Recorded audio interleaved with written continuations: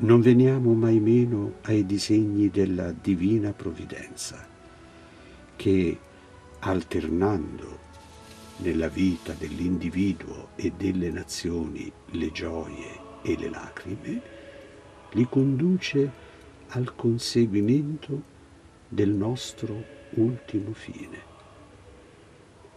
Guardiamo, dietro la mano dell'uomo che così si manifesta, la mano di Dio che si occulta.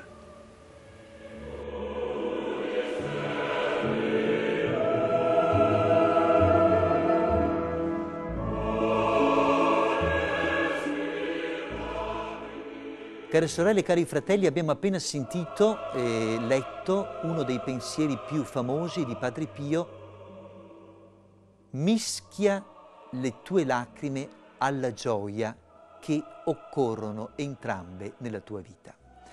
Al di là della semplicità del tutto francescana e serafica con la quale Padre Pio esibisce in questo pensiero una grande tradizione cristiana, qui dentro sono innestati almeno tre concetti spirituali e teologici che ci sono certamente utili. Il primo è di origine agostiniana. Eh, Padre Pio, non dimentichiamocelo mai, ottimo, è stato un ottimo conoscitore dei teologi e dei padri della Chiesa. In questo caso Sant'Agostino, il quale ci mette in guardia, avendo letto bene il Vangelo, che assieme al buon grano nel mondo ci sarà sempre la crescita della zizzania. Anzi, Sant'Agostino, il dottore di Ippona, parlava delle due città, la città celeste e la città terrena, diceva in latino quippe qui permixte sunt, che sono tra loro permixte, cioè sono frammiste.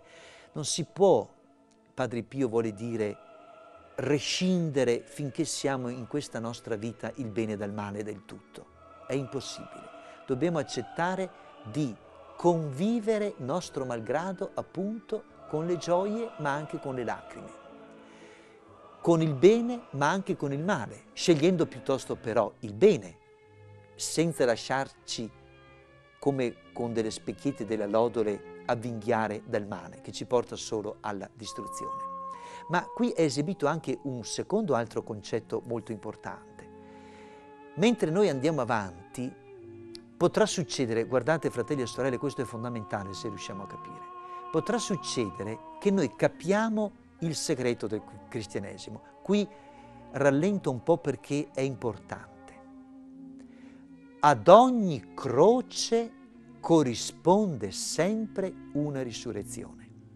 Vieni tu colpito da una malattia Stai iniziando oggi una giornata nuova in questo magari freddo mese di gennaio con un'angoscia. Se sei cristiano tu devi sapere che dal meno scaturisce sempre il positivo, a parte che lo diceva anche Hegel, un filosofo tedesco cristiano protestante, ma lo dice soprattutto Padre Pio e Gesù. Sappi che se tu, nella misura in cui accetti il meno e la sofferenza, solo allora poi essa diventa un più. Il meno è così, e il più è così, cioè arriverai alla, ri, alla croce risuscitata. Questo è il primo insegnamento. Il secondo insegnamento, ma il terzo è questo. Dio di solito agisce sempre per due cause. Si serve nella sua insuperabile sapienza e nella sua dorata divina provvidenza di far leva sul male che lui qualche volta permette per poter, per poter trarne un bene maggiore.